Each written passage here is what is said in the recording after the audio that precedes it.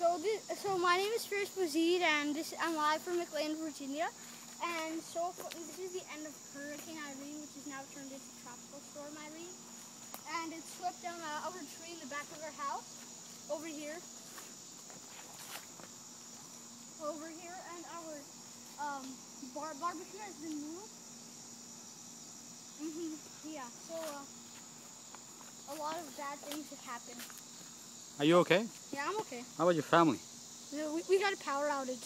Okay. last- So the storm is over, huh? Yeah, the You storm see the is over. skies. The skies are blue.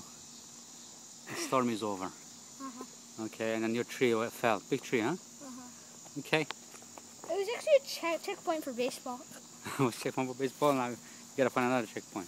This? Uprooted, huh? Wow. That's something else. Termites. Okay. Okay, bye.